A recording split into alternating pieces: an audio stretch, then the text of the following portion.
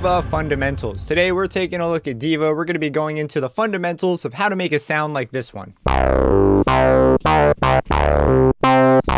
This is geared towards beginners, and if you're used to using digital synths, Diva is a little bit of a mind game because it's not really made to be digital in any way. It is a digital synthesizer, but it's very much analog mindset. So we're going to be going over this. Very simple sound to set up, but it's very, very useful. You'll hear this used as leads all over the place. Serves great as a bass sound, serves great as a lead sound. Uh, some of my favorite leads. If you're familiar with the producer uh, Stephen Walking, you can go check out their work.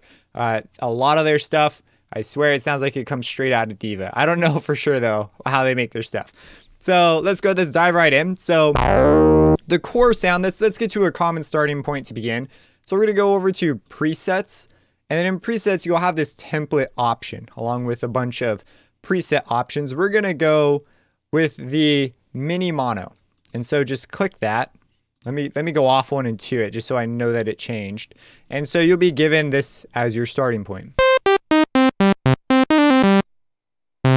Yeah. So what we're going to do now is we're going to take this starting point and begin to shape it. Uh, first off, we need to consider what kind of oscillator we're going to use. And there's a bunch of options in here, but the one that I really like to use is the Dual VCO Eco. And it's a bit ironic because we're going to use like the least economically CPU friendly filter.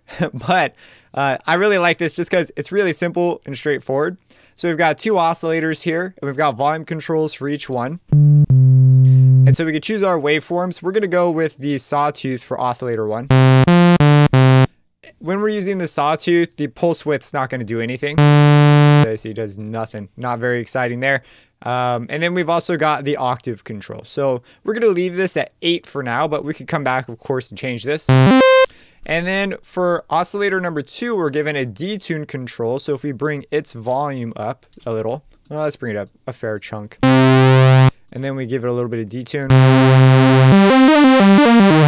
You get those lovely detune sounds. We're going to double click, or is it control click? Control click to reset it. And I'm going to bring it down an octave. Now, depending on the range that you're playing, you may want to move this control. We're going to use this as our as our low end. This is going to be sort of the beef to it. So if you're using 32, it's going to sound quite, uh, I was going to say janky or chunky. It's going to sound kind of crazy when you start playing real low notes. So if you intend to play low notes because it's a bass kind of sound that you're going for, then you might want to make this a bit higher. It'll work better down there. But if you're playing like high notes and treating it as a lead, it's a bit different of a story. You may be, this might actually be desirable. You get a very different tone. So I'm going to settle on 16. I like the sound that it has for the range that I'm playing. And I'm also going to dial this back. This does not need to be all that loud. So if we take this away, see just a touch, just takes a hair. It's almost mind blowing how little the knob has to move for it to have a dramatic impact. And it's just a volume control. It's just it's very, very touchy volume control or sensitive in a good way. So now that we've got our bass sound set up, we're gonna move over to the filters. Now, of course, we have two filters. We've got our, you know, our regular filter, and then we've also got this high pass filter here. So right now it's just on feedback, but there's these different modes and we're going to go with the Bite option. So what the Bite option is, is it's this resonancy filter that can move around. So for example,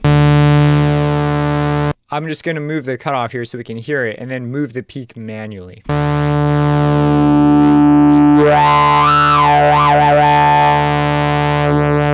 see how that works? As our uh, with a really aggressive peak, we get these really awesome, you know, super high resonance sounds. So what we're going to do is it'd be nice if we could automate this. And we'll find a spot for the cutoff to sort of live. And this is where that peak resonance is going to move around.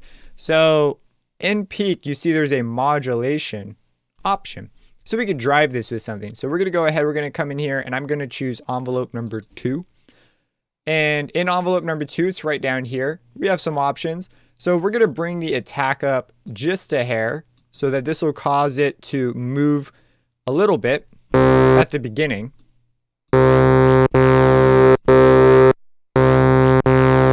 And we need to give this some depth. So I was moving this and I'm like, I'm not hearing anything. It's because we haven't given it any modulation depth. So if you look down here, this is our modulation depth for envelope two. We're gonna go ahead and turn that up. Sort of dial it into place and maybe dial this back a little.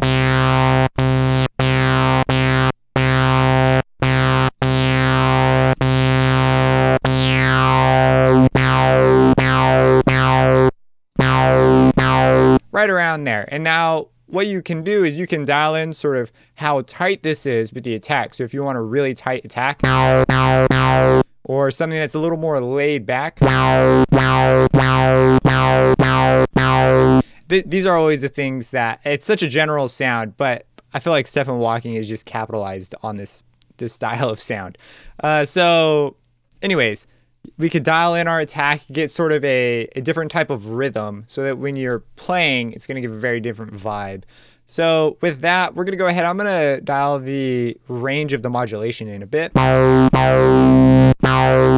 And then finally, we have a revision area. So this revision, there's two versions of this high pass filter. And we can just check out the other one. This one is like just like crazy. So just hear it. Yeah. So you're going to have to, it's not something you can just easily switch. You're going to have to decide which one you want to go for and and tune it again. So for this one, right, we might dial the peak way back. And you get a much clearer resonance uh, uh, moving around. Like there's a very specific frequency we can easily pick out. So for this reason, for these particular types of uh, basses and leads, I typically like number one more, revision one.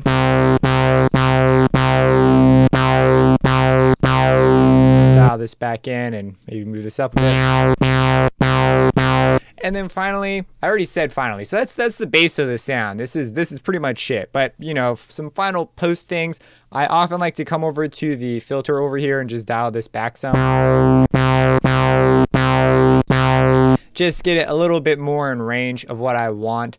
And from there, you can mess with, you know, different tones and timbres and textures. So we might try out different octaves here.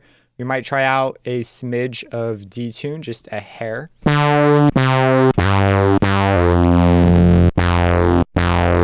We might try bringing this up a bit.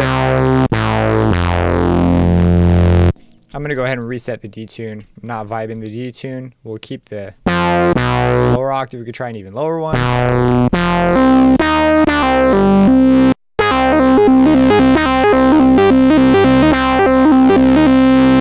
Stuff like that. But that is the basics of creating a Bite lead sound. I forgot the exact name I gave it at the beginning, but it's very, very common filter chain. From here, you can do all kinds of cool things with sequencing. You've got a very useful musical sound. You can switch out oscillators, but the general core is we set up an envelope with this Bite filter and you get a really, really just flexible sound. If you have any questions about this, feel free to let me know. Subscribe and hit that bell icon for future videos and have a blessed day.